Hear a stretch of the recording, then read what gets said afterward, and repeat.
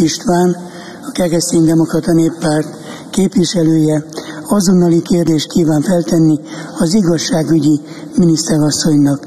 Beteheti-e a lábát Brüsszel a gyerekszobába? Mit tehet Magyarország, hogy ezt megakadályozza?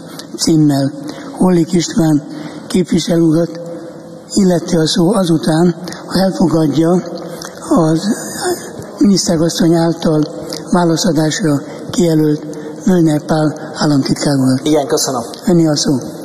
Köszönöm, tisztelt elnök úr, tisztelt ház. Nem túlzás azt mondani, hogy veszélyben vannak a gyermekeink, hiszen Brüsszel el akarja venni a szülőktől a jogot arra, hogy a gyermekeink szexuális nevelését mi szülők dönthessük el. Persze nem először csinál ilyet Brüsszel, 2015-ben azt akarták nekünk megmondani, hogy megvédhetjük-e Magyarország határait az illegális bevándorlók ezreitől. Aztán meg azt akarták nekünk megmondani, hogy kivel éljünk együtt, Sajnálatos az, hogy a kötelező kóta gondolatát azóta, pedig eltelt öt év, azóta sem eresztették el. De Brüsszel itt nem állt meg, a koronavírus elleni küzdelem kellős közepén, amikor mindenki versenyt futott az idővel, Brüsszelnek éppen azzal voltak hatásköri agályai, hogy Magyarország honnan vásárol egyébként bevizsgált és hatásos vakcinákat. Ez persze a hazai baloldal lelkesen asszisztált. Mindenki tudta, hogy aki időt nyer, az életet nyer, ők ennek ellenére gáncsolták a vakcina beszerzést. Arra azonban kevesen gondoltunk, hogy még gyermekeink nevelésébe is bele akarnak szólni.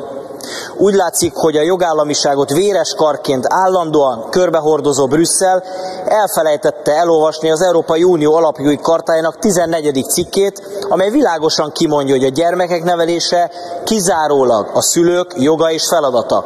Ez persze nem zavarta meg e, Brüsszel tisztánlátását, és kötelezettségszegési eljárást indítottak ellenünk. Ezzel szemben a Fidesz-KDNP álláspontja megegyezik az EU alapjogi kartájában foglaltakkal. Úgy gondoljunk, hogy a gyermekeink szexuális nevelése kizárólag a szülők dolga, ezt elvenni nem lehet. Ezért joggal merül fel a kérdés, beteheti-e Brüsszel és az LMBTQ aktivisták lábát a gyerekszobába, betehetik-e, mit tehet Magyarország, hogy ezt megakadályozza. Köszönöm szépen a választ, államtitkár. Köszönöm szépen. Megadom a szót Völner Pál államtitkár úrnak. Köszönöm a szót, elnök úr, tisztelt ház, tisztelt képviselőtársaim! A gyermekvédelmi törvénycsomag elfogadását követően ismét intenzív támadást indítottak hazánk ellen nemzetközi brüsszeli és balliberális szervezetek. Az összehangolt támadás sorozatba belesimul a hazánk ellen a gyermekvédelmi törvény miatt indított kötelezettségszegési eljárás. Brüsszel lopakodó hatáskör elvonásról akar beleszólni a magyar szabályozásban annak ellenére, hogy az Európai Unió alapjogi kartája, hogy képviselő úr is említette, kiemeli, hogy a szülők joga eldönteni, milyen elvek mentén nevelik saját gyermekeiket. Szeretném hangsúlyozni, hogy a családjog, amely alá a gyermekvédelem is tartozik, kizárólag nemzeti hatáskör, és ebből nem engedhetünk.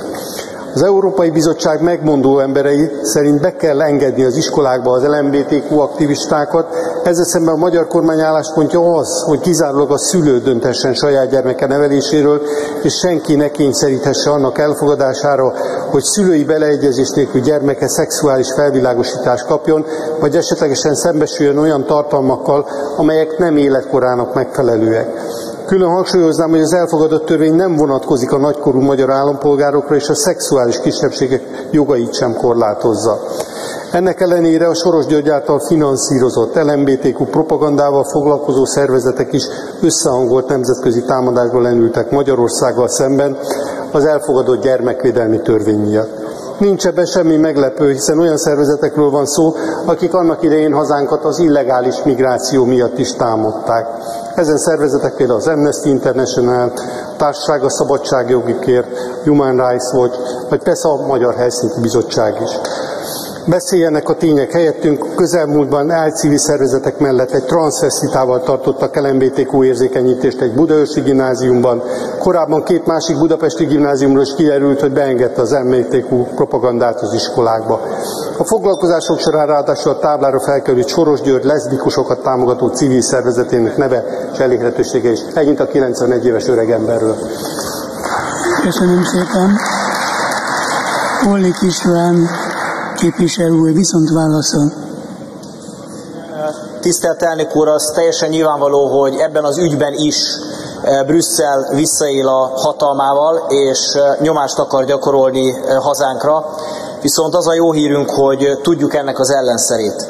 Ennek a leghatékonyabb ellenszere a magyar emberek egyértelmű akarat nyilvánítása egy népszavazáson. Ahogy 2016-ban is megmutattuk Brüsszelnek, hogy nem kérünk az illegális bevándorlásból, nem kérünk a kötelező kvótáról, kvótából, hogy megmutathatjuk a jövő évben is, hogy senki nem szólhat bele abba, hogy hogyan neveljük a gyermekeinkkel és ezzel az eszközzel élnünk kell, hiszen a veszély valós.